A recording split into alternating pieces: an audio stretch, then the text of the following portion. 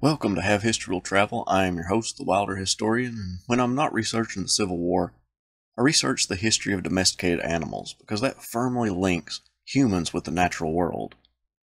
The use of horses, cows, sheep, and other barnyard animals toward our own economy, society, culture, and daily lives changed throughout the centuries, and none more than the horse, when the horseless carriage or automobile was created. So I thought a video talking about the transition and the major effects it had on the urban economy would make an interesting video.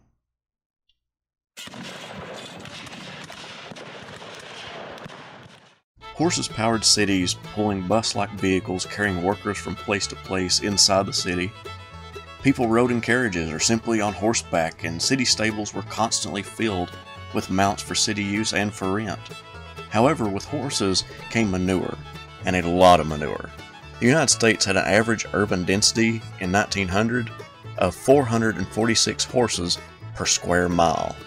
Horses could generate as much as 5 tons of manure per square mile per day. The city of Philadelphia, with 129 square miles and a horse density of 394 in each, received 500 tons per day. When it rained, the streets would be turned into swamps of excrement with a putrid smell, and when overly dry, would churn up in dust clouds and fly into the mouths of city inhabitants. One New Yorker grumbled, No one can cross Broadway but on tiptoe. Ladies can only wishfully cast their eyes from one side to the other.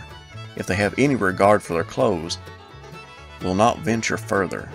Indeed, no pleasure carriage can drive the length of the street without being covered with mud so as to require washing before it can be used a second time. Armies of street sweepers strove in vain many times to keep up with the animals and the day to day trash and human filth they were supposed to carry away. One of the repeated complaints leveled against street cleaning, both public and private, was that trash collectors or scavengers, as they were commonly called, would pick and choose among the rubbish, leaving much of it behind. Collectors frequently passed over dead cats and rats to the dismay of many New Yorkers. Scavengers were so selective because there was a huge market among the regional farmers for the city's street manure. The very fact that the city could profit from its waste convinced critics that the publicly run option might not be much of a drain on the city's coffers as many had feared. In the eyes of both politicians and entrepreneurs, the piles of horse waste might as well have been piles of gold. Farmers just outside the city paid good prices for the horse waste to be used as fertilizer for their fields in order to grow corn, potatoes, beans, and other vegetables, which in turn they sold to urban dwellers in this cyclical relationship between city and country. Farmers could obtain a cartload of manure for about 30 cents. One of the biggest commodities that farmers sold to urbanites was hay, it, of course, being the fuel source for horses, which powered streetcars, freight carriers, and general transportation. Farmers were not the only ones benefiting from this relationship. In 1830, the New York City government raked in $19,000 for its street scrapings, which amounted to nearly 75% of the entire cost of cleaning the streets. During a time when the street cleaning accounted for one of the city government's largest expenses, the ability to offset a major portion of the cost was not only good for the budget, but also good for politics. By keeping the net cost down, the city tempered some of the criticism thrown its way. Manure ranked in as one of the most profitable ventures, alongside taxes, tavern licenses, and the public sale of property. Being able to nearly pay for itself, street sweeping as a public service within the city became more acceptable. Horse manure became so important, and city officials realized the need to keep farmers happy.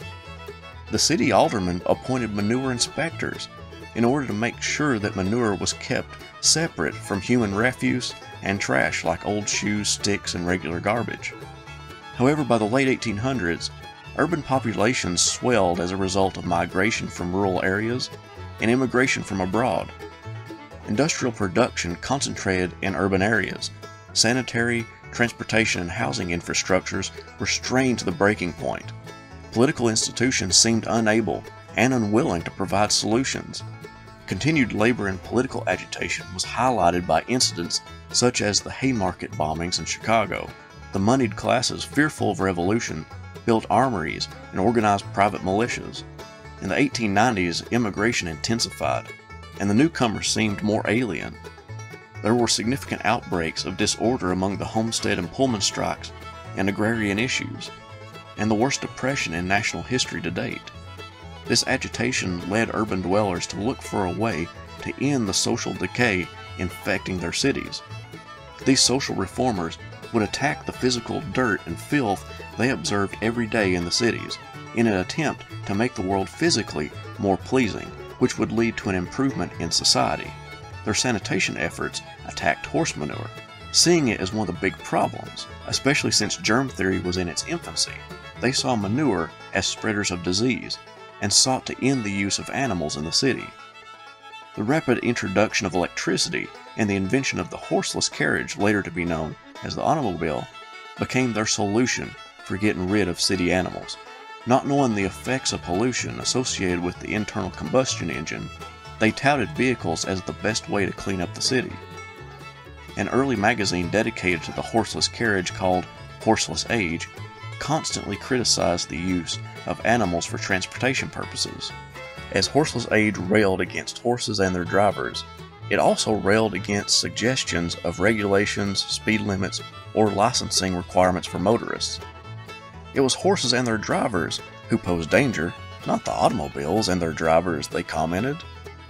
An editorial attacked the motophobia of the city of Chicago for requiring that drivers be licensed and demand to know why horse drivers were not licensed. Eventually, the automobile and subways would take over where the horses had been just 30 or 40 years earlier. But this conversion from horse to engine impacted the lives of the farmers outside the city. Some farmers found themselves in desperate need for fertilizer, which forced them to pay sometimes much higher prices for commercial fertilizer, putting some of those farmers out of business. Some moved to the Midwest where more land was available in order for them to grow more crops and get a higher yield in order to offset the cost of fertilizer. When we think of the transition from horse to car, we hardly think of the economic implications it had for farmers, who in many cases depended on the manure produced from horses to grow their crops on land, which without the manure would lack significant nutrients. The cyclical life of manure in 19th century America was what helped give rise to these major cities and allow them to thrive. Thank you all so much for watching. I hope you all enjoyed this dive into urban and environmental history. Please share the video to get the word out about the channel. Thank you all again, and have a nice day.